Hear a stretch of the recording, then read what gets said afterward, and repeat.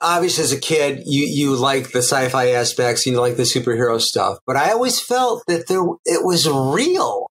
You know, it hmm. was, it was accessible. Martin Caidin who was a genius novelist, sci-fi novelist, who did the original Cyborg, he made, he, he didn't turn this character into Superman. Steve was not Superman. Jamie was not Wonder Woman. These were people um, who happened to be superheroes who were forced into the situation with limited powers.